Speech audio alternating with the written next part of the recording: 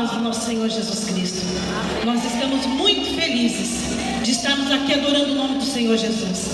Nós queremos agradecer ao pastor Renilson por mais este convite. E nós estamos aqui somente para adorar o Senhor Jesus.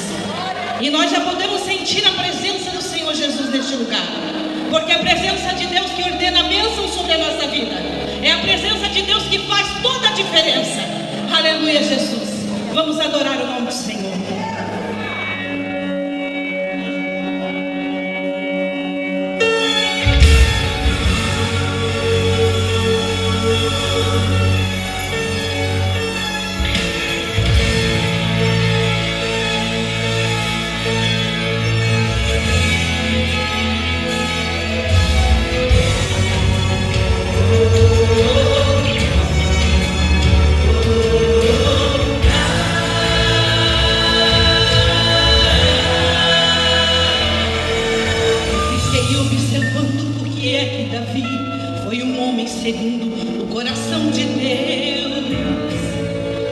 Depois de algum tempo analisando, eu cheguei à conclusão de como isso aconteceu.